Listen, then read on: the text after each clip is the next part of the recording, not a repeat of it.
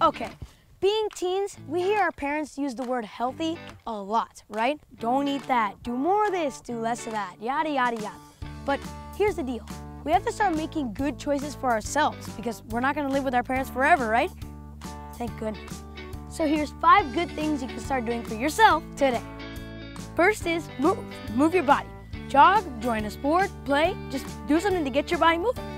Okay, second thing is drink more water. Did you know that sports drinks weren't designed for light to moderate activity and more for extreme exercises like triathlons?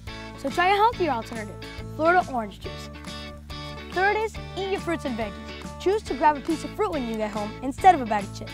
And you're not gonna like this next one. Set boundaries with your electronics.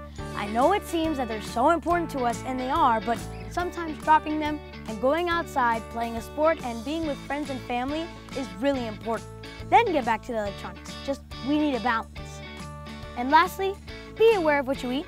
Try less junk food and more good for you foods. That one's simple. And remember, don't do this for your parents. Do it for you.